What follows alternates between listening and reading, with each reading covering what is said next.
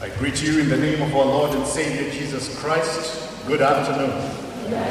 It is great to be here before you one more time and stand and share the word of the Lord with you. As I was thinking and reflecting about what I should leave with you this day, the idea of success came to mind. We are approaching the uh, tail end of the semester and as we approach that, we are wondering whether we will be successful in our endeavors. The students are wondering whether they'll be successful in the writing of their exams. The professors are wondering whether they'll be successful in the grading of the exams. We are all wondering whether we'll be successful in all our intents and purposes as we try to fulfill the academic goals of this institution.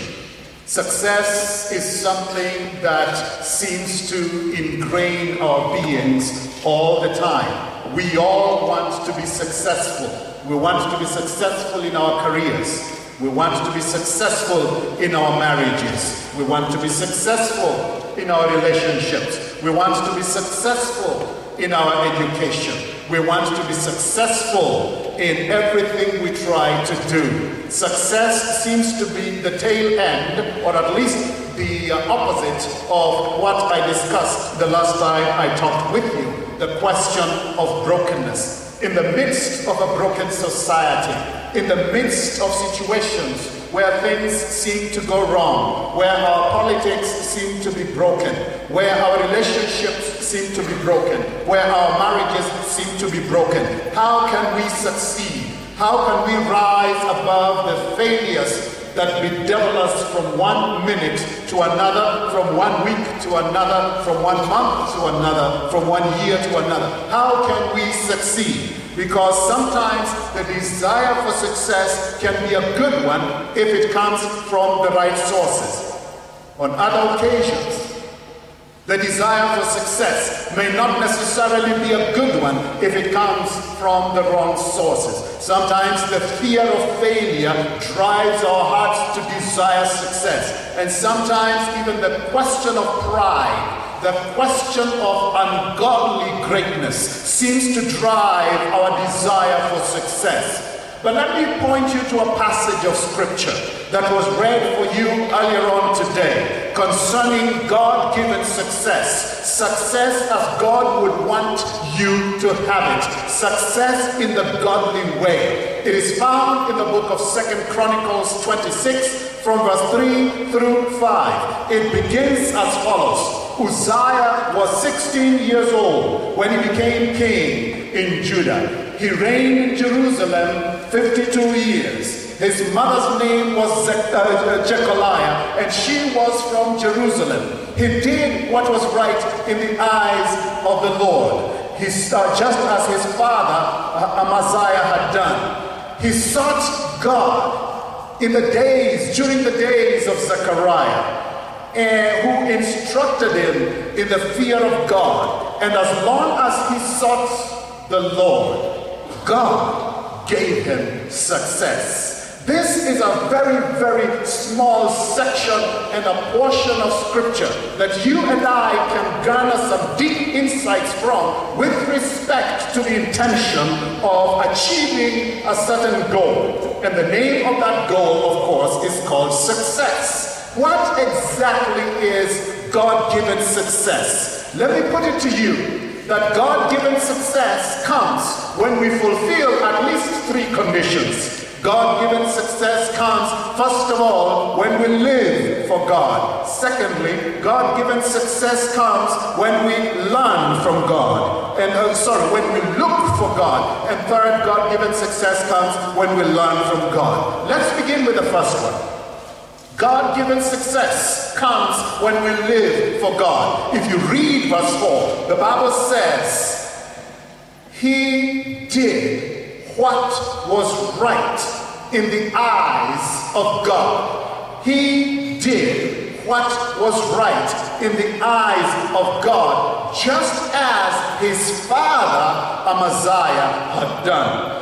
Uzziah did what was right in the eyes of God, not right in the eyes of the people around him, not right in the eyes of the kings that came before him, not right in the eyes of the kings of the neighboring countries, but right in the eyes of God. He lived for God. He wanted to make sure that his life in his career as a king reflected the glory of the image of God. He did what was right in the eyes of God. It is something, it is a principle, it is a goal that he learned to live for, and if necessary, to die for. At least at that stage in his life. That, that is what he wanted. That is the goal he tried to fulfill. When Nelson Mandela was released from jail after 27 years of incarceration in the early 90s, he walked out of jail and walked right up to uh, a podium where he was asked to address the crowd. And he said this, he said, the things I stood for before I went to jail are as true today as they were true then. I am against white domination. I am against black domination. They are truths for which I'm ready to live for and if necessary to die for. C.S. Lewis, after his wife died of cancer, wrote a book entitled A Grief Observed. And in that book, he makes this claim. He says, You never know how much you are willing to believe anything until or unless its truth or falsehood becomes a matter of life and death to you. He said, It is very easy to believe that a rope is strong and sound as long as you use it to tie a box. But if you are to hang on that rope, by that rope, on a cliff, then you begin to test its strength. You begin to test your belief whether it is strong or it is weak. And he says, only a real risk tests the reality of a belief. And that seems to be the risk that King Uzziah was willing to make. He was willing to take that risk and say, I am going to live for God, even in a situation where my peers and the people that have gone before me may not be willing to live for God. I am willing to do it. I remember when I was teaching philosophy at the University of Kentucky and then teaching philosophy at Asbury University and much later at Asbury Theological Seminary. I would ask my students this question What truths are you willing to live for and, if necessary, to die for? Now, the University of Kentucky is a very secular institution, so the answers that I was given from the University of Kentucky students were as varied as the answers I received from the students at Asbury University and Asbury Theological Seminary. When I asked the students at the University of Kentucky, what truths are you willing to live for, and if necessary, to die for? They said, I'm willing to live for my freedom, and I'm willing to die for my freedom. And when I went to Asbury University, asked them the same question. Most students were unanimous in their consensus, in their statements, they said, Yes, I am willing to live for Jesus Christ, and if necessary, to die for Jesus Christ. And I suspect King Uzziah was willing to live for God, and if necessary, to die for God. My challenge to you here is, as you are approaching the exam week, live for God in the writing of your exam. live for God in the preparation for your exam. As you are preparing yourselves for your career, live for God in the preparation of your career. As you're doing your teaching, as you're moving from one place to another to accomplish your goals, purposes, and intentions, live for God. Even as you go to Cancun, Mexico, live for God. Make sure that if you want to be successful, living for God is a part of your lifestyle. Living for God is a part of your trend. Living for God is your tradition. Living for God is a culture that is ingrained in you. So much so that even when being a Christian is a crime, there will be enough evidence to get you convicted.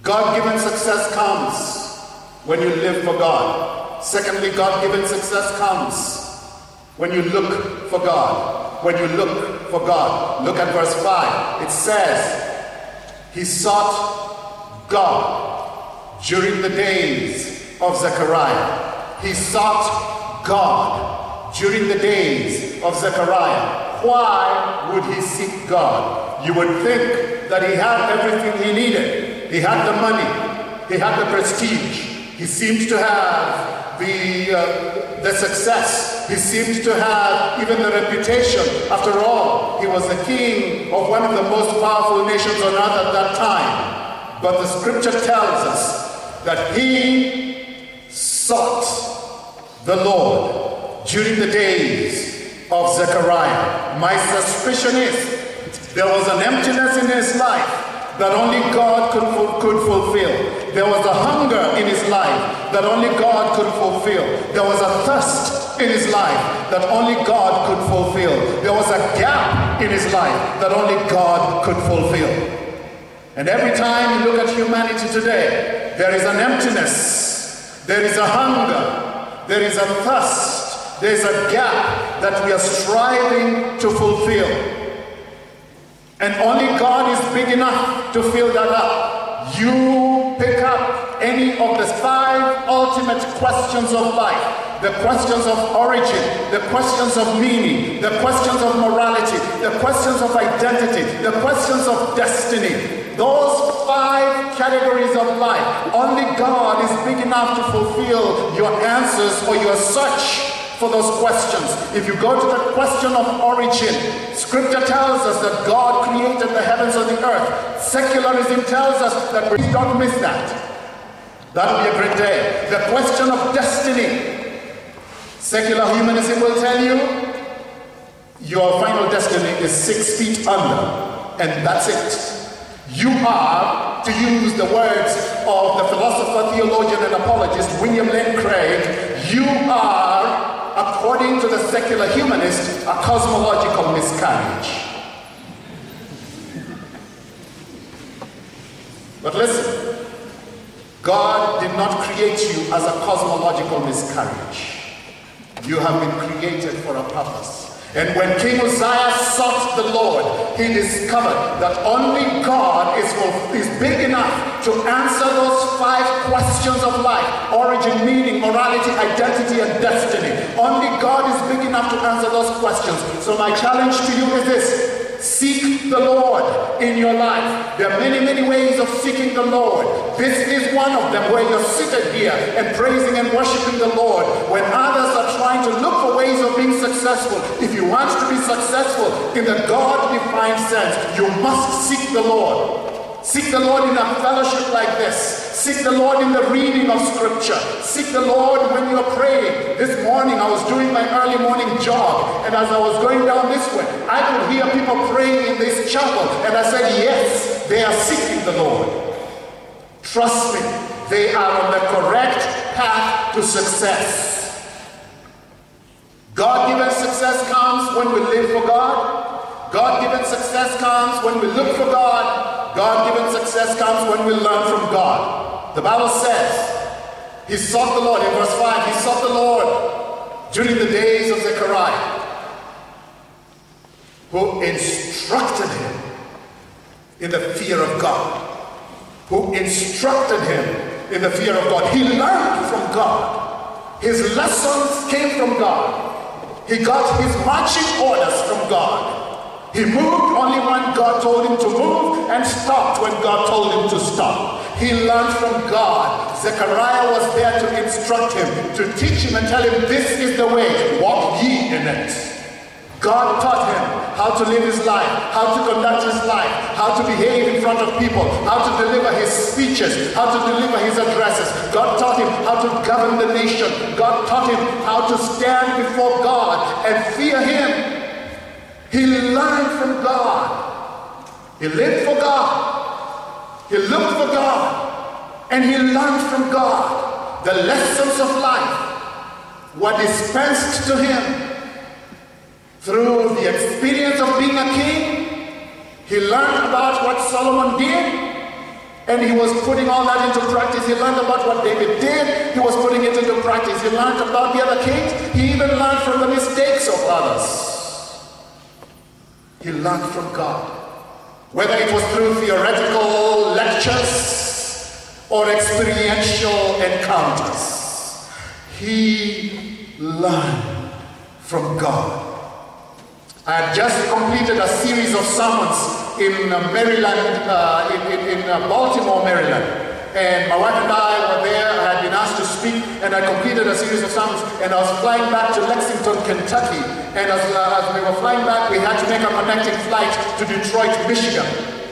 And while we were waiting there, we finally called, were called in to board the plane. And we got into the plane and were seated in there. It was about a 50-seater plane. And we were sitting there waiting to take off. Then the pilot announces from his cockpit and says, there is a storm passing by. There is a storm passing by. We cannot fly into that storm. It would be dangerous. So we have to wait for 10 minutes until the storm is gone. In less than five minutes, we got to hear again from the cockpit. The pilot saying, we have been cleared for takeoff. And we said, oh, okay. We thought it was 10 minutes. Nice five, so we've been cleared, it must be fine. When we were taking off, the pilot flew right into the storm. The plane was tossed back and forth. Our heads, never mind that we had our seatbelts on, our heads were banging up there, hitting one another, and there were about 50 people in that plane. All of them were calling on the name of Jesus. Jesus, Jesus. I've never heard of the name of Jesus called so many times before. And they were all crying and wailing and screaming, and we were wondering, shall we live through this? Shall we see the ground again? Shall we ever see? Shall I ever see my people in Kenya again? Shall I even see my wife was sitting next to me? And I was really pressing her hand, not knowing that that's what I was doing. And the thing went on and on. Thought the plane would break in two. Finally, it was over. And the pilot says, sorry for that little thing back there. he said, little? Our eyes were literally at stake here and you call it little? When the pilot tells you something like that, it's time to begin expressing your religious beliefs. And that's when everybody was calling on the name of Jesus. I discovered one thing. When you experience life-threatening moments, that's when you experience life-threatening moments, that's when God comes squarely and sharply into focus. You begin to learn that there is something in world that we do not even know about that only God can tell us about. When C.S. Lewis lost his wife, a certain moving company, a movie company decided to depict the passion and the pathos of that experience in a movie. And Anthony Hopkins was asked to act as C.S. Lewis. And when uh, the wife had been depicted as dead and all that, the wife had died, Anthony Hopkins basically wept so uncontrollably, picking up or at least trying to depict the passion and the pain that Lewis went through. And then one of the lines in that movie caught my attention, and it was this. C.S. Lewis was depicted as saying, They tell me experience is a brutal teacher, but my God, you learn. It is a painful experience sometimes to go through some of those life lessons. But when you learn from God, the important thing is you will be successful. You see, God is indispensable for your success. You cannot take him out of the picture. You cannot take Jesus Christ out of the picture. If success is your goal, if you seem to have made a lot of money and Christ is not in the picture, you are an ultimate failure. But success comes when you live for God, when you look for God, when you learn from God. Those are three key ingredients in success. And so I challenge you, learn from God. Read your Bible, don't leave it behind. Be in fellowship with other Christians, don't throw that away. Listen to the counsel of your elders. The Bible says the fear of the Lord is the beginning of knowledge. Some translations have it as the fear of the Lord is the beginning of wisdom. Knowledge is the accumulation of facts. Wisdom is the application of those facts. And that's why you can find some professors very, very highly educated. They know all, that they have all the knowledge in the, in the world, but, they again, uh, but then again, they're not wise. With all their knowledge, they go to the pub and they drink themselves stupid. The following day, you find them completely passed out in a gutter with all that sewage running all over them. And you ask, where is the wisdom in this? When you learn from God, not only will you have accumulated facts, but you will learn how to apply that in your life. God is indispensable for your success. You cannot kick him out of the picture. You cannot throw him out of the picture. Think about it. In philosophy, Plato was replaced by Aristotle. In theology, Augustine was replaced by Aquinas. In literature, Shakespeare was replaced by Charles Dickens. In science, Newton was replaced by Einstein. In politics, Honorable Mwai Kibaki was replaced by Uhuru Kenyatta. But in life, Jesus Christ is irreplaceable. His rule is unbreakable. His will is indefeasible. What he condemns, no one can redeem. What he redeems, no one can condemn. The doors he shuts, no one can open. The doors he opens, no one can shut. Because he is immortal, he is invisible, he is eternal, he is almighty, the Alpha, the Omega, the beginning and the end. The singers have called him the Lion of Judah, the great physician, the lily of the valley. When you remember that this is Jesus, the one who is indispensable to your success, I dare you to trust in him. Amen. Live for God. Look for God. Learn from God. God bless you.